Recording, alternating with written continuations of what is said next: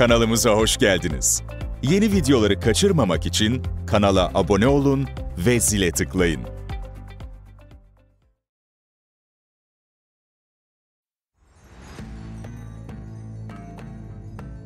Altının 5 kuralı.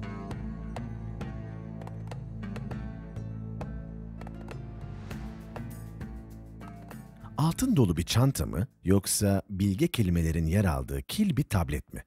Eğer ikisinden birini seçmek zorunda kalsaydınız hangisini tercih ederdiniz?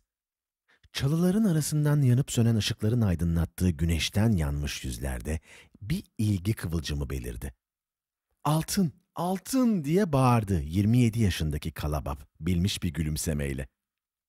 Dinle, gece vahşi köpeklerin sesini dinle. Bağırıyorlar ve ağlıyorlar çünkü açlar. Ama onları beslerseniz ne olur? Kavga ederler ve hırlarlar. Daha sonra biraz daha kavga edip biraz daha hırlarlar. Yarının geleceğini düşünmezler. İnsanlar da aynen böyledir. Altınla bilgelik arasında seçim yapmalarını söylediğinizde ne yaparlar? Bilgeliği boş verip altını harcarlar. Sabah uyandıklarında ellerinde altın kalmadığı için ağlarlar. Altın sadece onun kurallarını bilip bu kurallara uyanlar içindir. Kalabap beyaz kaftanını ince bacaklarının üzerine kapattı. Serin bir akşam rüzgarı esiyordu.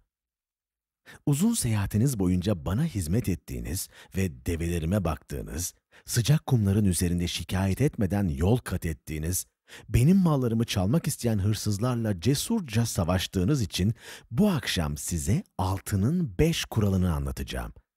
Daha önce bunun gibi bir hikaye hiç duymadınız. Dinleyin, sözlerime kulak verin. Eğer söylediklerimin anlamını anlayabilirsiniz, önümüzdeki günlerde birçok altına kavuşursunuz.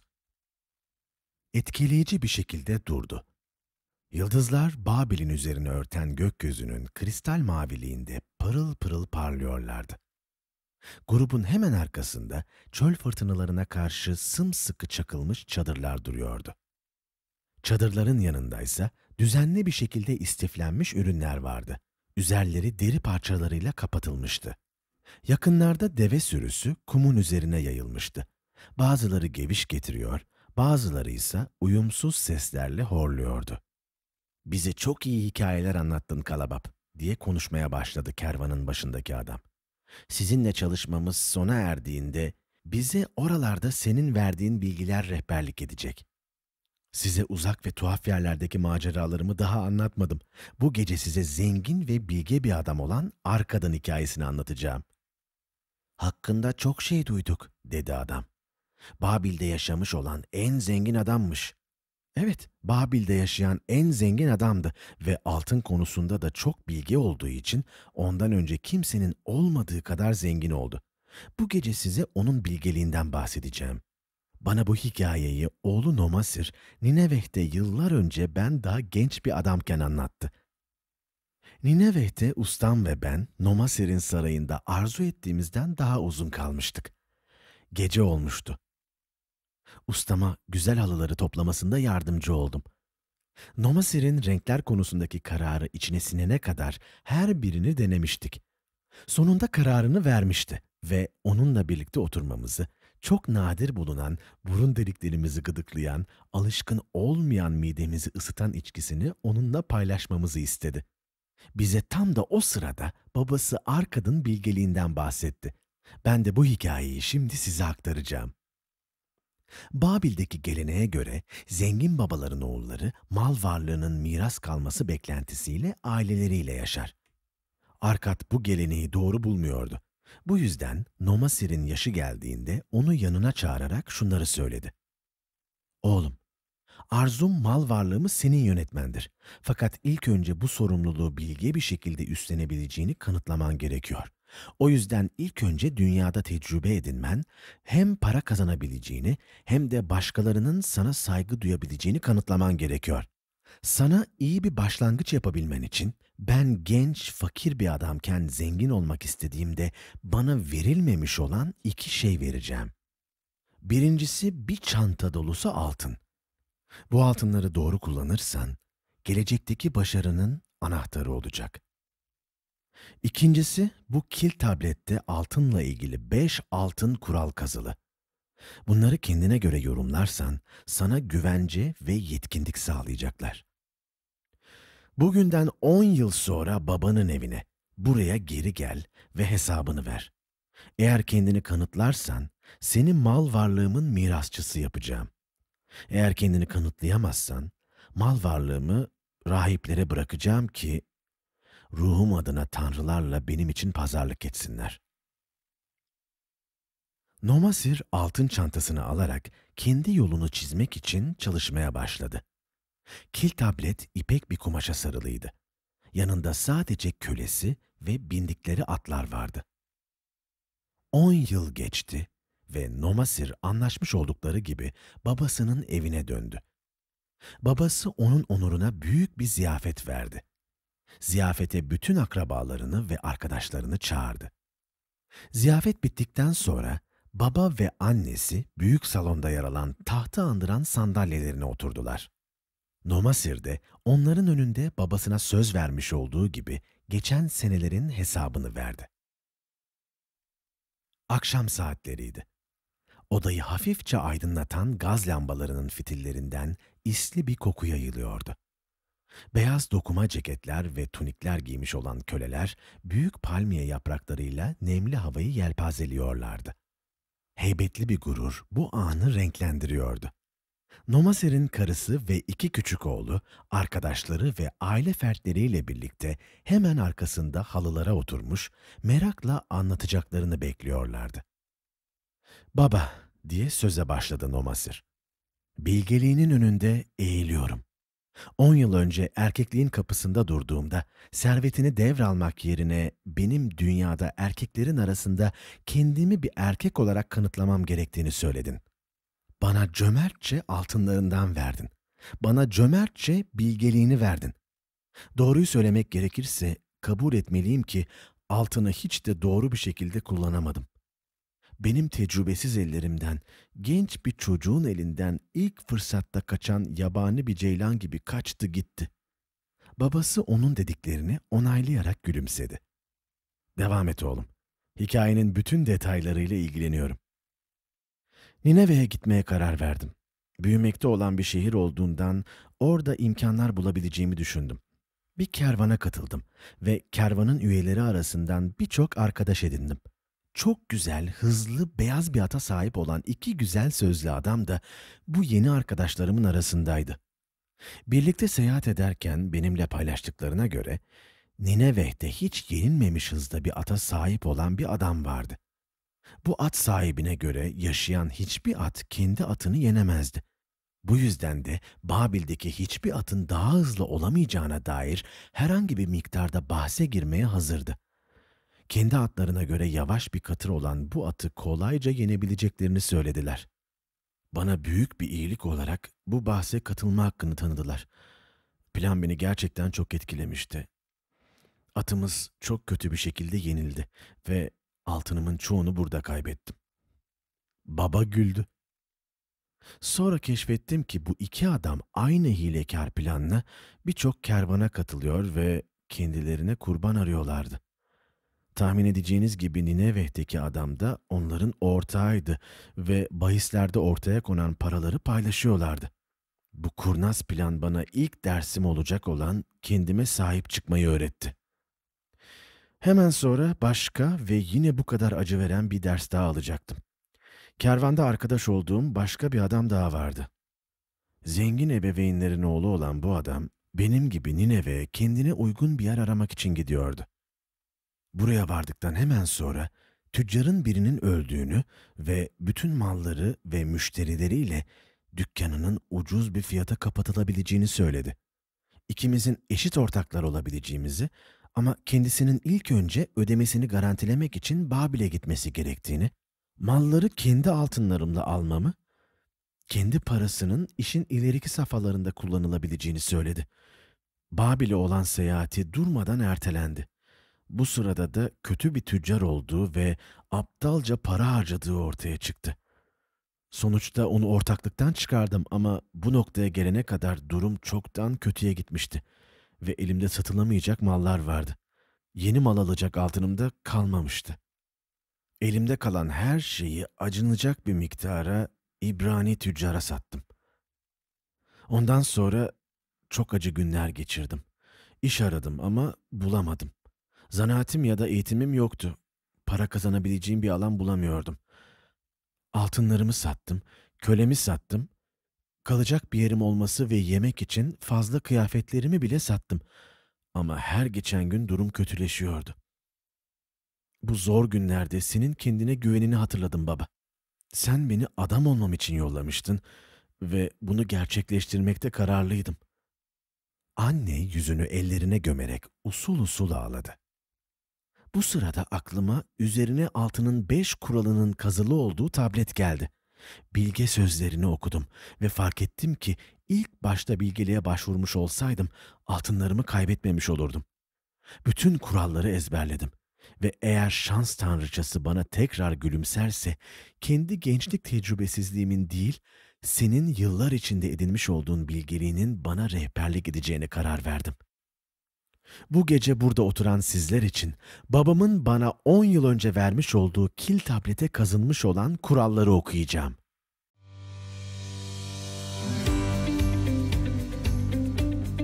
Sevgili dinleyiciler, yeni videoları kaçırmamak için kanala abone olmayı unutmayın.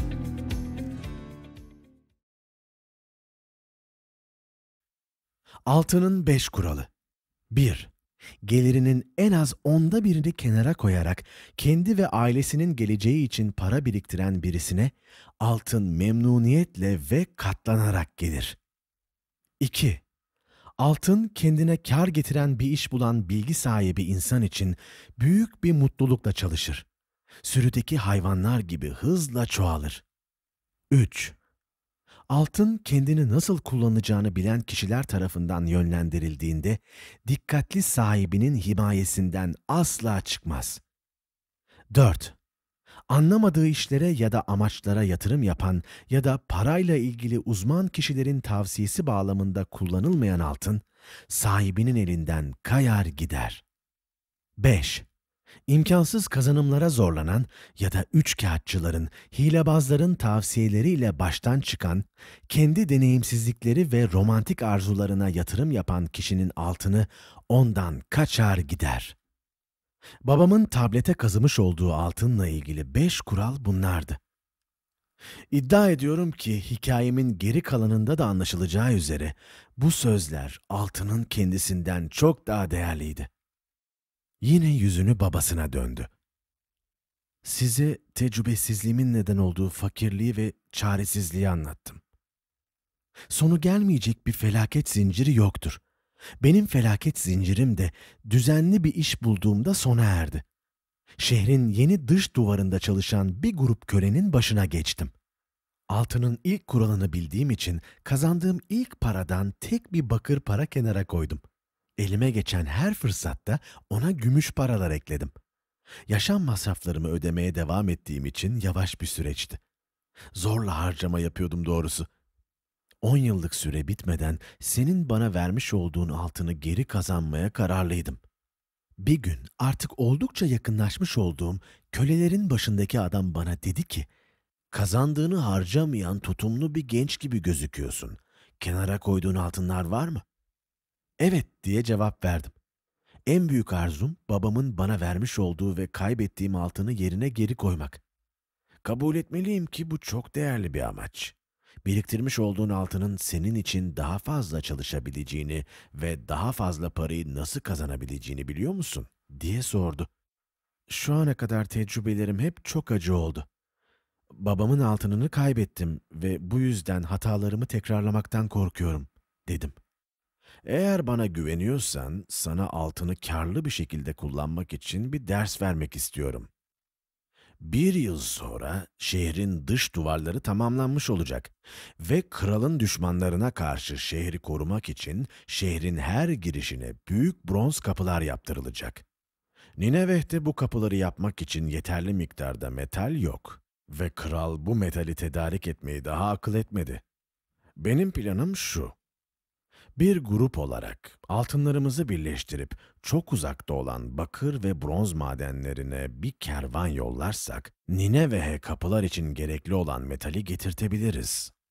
Kral büyük kapıları yapın dediğinde metali bir tek biz sağlayabileceğimiz için bize yüksek bir fiyat öder. Kral metali bizden satın almak istemese de yine de elimizde adil bir fiyata satabileceğimiz metal kalmış olur. Teklifini dinlerken altının üçüncü kuralına uyan ve birikimlerimi bilgi adamların tavsiyeleri doğrultusunda yatırabileceğim bir fırsat gördüm. Ve hayal kırıklığına uğramadım. Oluşturduğumuz havuz kapitali işe yaradı ve küçük birikimim bu anlaşma sayesinde fazlasıyla büyüdü. Zaman içinde bu grupla birlikte başka işlere de girdim. Her biri altınla ilgili konularda tecrübeli ve bilgeydi. Sunulan her planı detaylı bir şekilde tartışarak karar veriyorlardı. Ana parayı kaybedecekleri bir riski asla almıyorlardı. At yarışı ve tecrübesizken girdiğim ortaklık gibi şeyler onlar için mevzu bahis olamazdı. Bu yatırımların zayıflıklarını hemen görebilirlerdi. Bu adamlarla birlikte yaptığım işlerde paramı karlı bir şekilde nasıl yatırabileceğimi öğrendim. Yıllar geçtikçe, hazinem gittikçe daha hızlı bir şekilde büyüdü. Kaybettiğimi geri kazanmakla kalmadım, daha fazlasını kazandım. Şanssızlıklarım, denemelerim, yanılmalarım ve başarılarım aracılığıyla altının beş kuralını defalarca test etmiş oldum. Baba, bu kurallar her testte doğru çıktı. Altının kurallarını bilmeyen birine altın uğramaz. Geldiğinde de hızla kayar gider. Bu beş kurala uyanlara ise altın gelir ve görev bilinci olan bir köle gibi sahibi için çalışır. Nomasir burada durdu ve odanın arkasında duran bir köleye işaret etti. Köle üç ağır deri çantayı önlerine getirdi. Bunlardan birini alan Nomasir, çantayı babasının önüne koyup ona seslendi. Bana bir çanta dolusu altın verdin. Babil altını. Verdiğin altının karşılığı olarak aynı ağırlıktaki Nineve altınını sana sunuyorum. Eşit bir alışveriş olduğu konusunda hemfikir olabiliriz. Bana üzerinde bilge sözler olan kil bir tablet verdin. Onun yerine sana iki çanta altın veriyorum. Böyle deyip köleye dönerek ve diğer iki çantayı da ondan alarak babasının önünde yere koydu. Böylece baba sana gösteriyorum ki bilgeliğin altından çok daha değerlidir. Altın dolu torbalarla bilgeliğin değerini ölçmek mümkün mü? Bilgelik olmadan altın bir o kadar çabuk kaybolur. Bilge olanlarsa altını ellerinde tutabilirler ki bu üç torba altın bunu kanıtlıyor. Önünde durarak bilgeliğin sayesinde zengin ve saygın bir adam olduğumu söylemek bana büyük bir tatmin veriyor baba. Babası oğlu Nomasir'in omzuna elini koydu. Derslerini almış, mal varlığımı bırakabileceğim bir oğlum olduğu için çok şanslıyım. Kalabab burada hikayesini sonlandırır ve yan gözle dinleyicilerine bakar. Nomasir'in hikayesi ne anlama geliyor diye devam eder. Aranızdan hangisi babasına ya da karınızın babasına giderek kazandığınız parayı ne kadar akıllıca kullandığını anlatabilir? Eğer bu saygın adamlara gidip de çok seyahat ettim, çok şey öğrendim, çok çalıştım, çok kazandım ama az altınım var. Bazısını akıllıca, bazısını aptalca harcadım ve çoğunu da kötü şekillerde kaybettim derseniz sizin hakkınızda ne düşünürler? Hala bazılarının çok altını olmasının, bazılarının da hiçbir şeyi olmamasının kaderlerindeki bir tutarsızlıktan dolayı olduğunu mu düşünüyorsunuz? O zaman yanılıyorsunuz. İnsanlar altının beş kuralını bildiklerinde ve uyduklarında altınları çok olur. Gençliğimde bu kuralları öğrendiğim ve uyduğum için zengin bir tüccar oldum. Zenginliğimi gizemli bir şekilde elde etmedim. Hızla gelen zenginlik aynı şekilde elden kayıp gider. Yavaş yavaş gelen zenginlik sahibine zevk ve tatmin verir. Çünkü bilgi ve ısrarlı bir amacın mahsulüdür. Para kazanmak düşünceli birisi için ufak bir yük demektir. Yıllar boyunca bu yükü taşımak nihai amaca ulaşılmasını sağlar. Altının beş kuralına uyanlar zengin olur. Bu kuralların her birinin derin anlamları vardır ve hikayem kısa olduğu için bu derinlikleri fark etmemiş olabilirsiniz. O yüzden şimdi kuralları tekrar edeceğim. Her birini kelimesi kelimesine biliyorum. Çünkü değerlerini bilerek gençliğimde her birini ezberledim. Altının ilk kuralı. Gelirinin en az onda birini kenara koyarak kendi ve ailesinin geleceği için para biriktiren birisine altın memnuniyetle ve katlanarak gelir. Gelirinin onda birini düzenli olarak kenara koyan ve akıllı yatırımlar yapan kişi, ileride ona gelir sağlayabilecek ve eğer tanrılar onu karanlık tarafa erken çağırırsa, ailesinin güvencesini sağlayabilecek miktarda bir mal varlığı yaratabilir. Bu kurala göre altın böyle bir adama her zaman kolaylıkla gelir. Bunu kendi hayatımdan örneklerle de gösterebilirim. Daha fazla altın biriktirdikçe daha rahat ve daha büyük miktarlarda kazanmaya başladım. Biriktirdiğim altın aynı sizin birikimlerinize olacağı gibi daha fazla kazanmaya devam etmekte ve kazandıkları da daha fazla kazanmaktaydı. Ve böylece ilk kural işte böyle işledi. Altının ikinci kuralı. Altın kendine kar getiren bir iş bulan bilgi sahibi bir insan için büyük bir mutlulukla çalışır. Sürüdeki hayvanlar gibi hızla çoğalır. Altın aslında istekli bir işçidir. Fırsat kendini gösterdiğinde çoğalmaya heveslidir.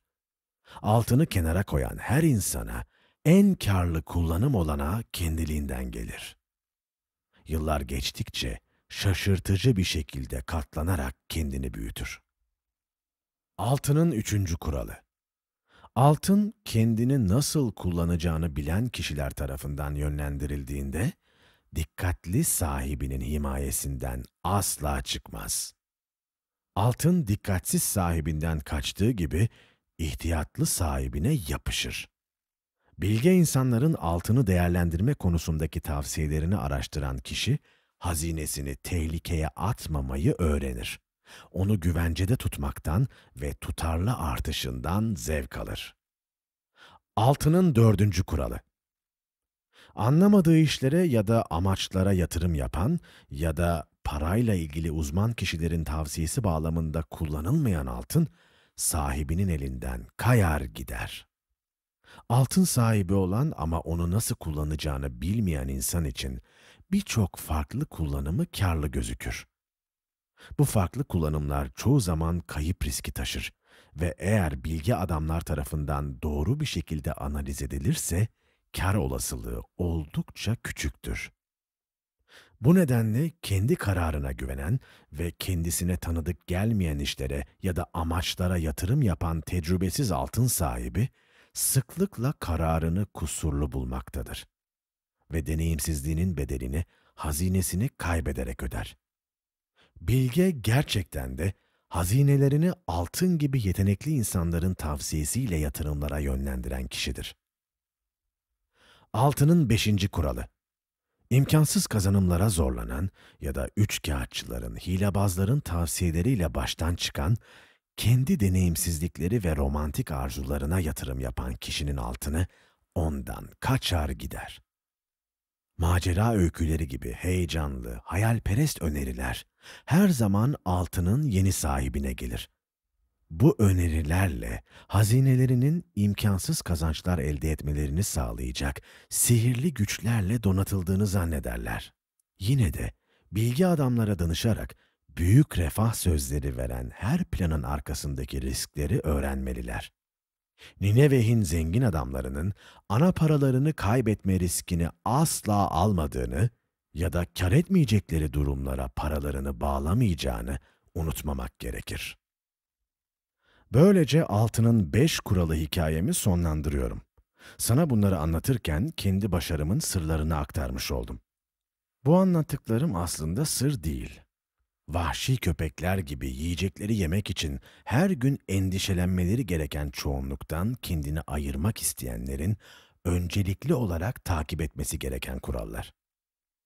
Yarın Babil'e giriyoruz. Bakın, Bel tapınağının üzerinde ebediyen yanan ateşi görün. Zaten şimdiden altın şehri görüyoruz. Yarın her birinizin altınları olacak. Sadık emeklerinizle fazlasıyla hak etmiş olduğunuz altınlar.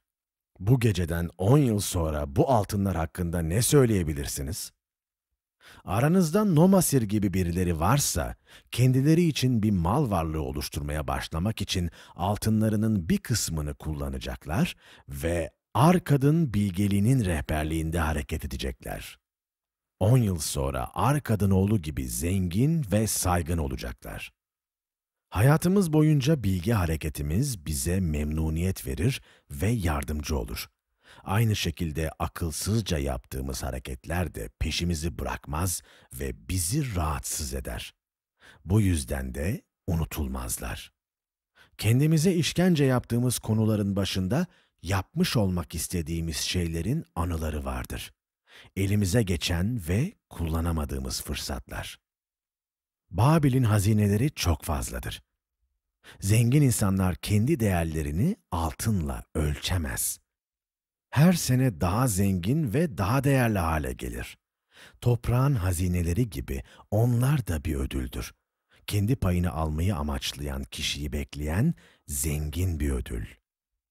Kendi arzularınızın içinde sihirli bir güç vardır. Bu gücü altının beş kuralıyla birleştirdiğinizde siz de Babil'in hazinelerinden payınızı alırsınız.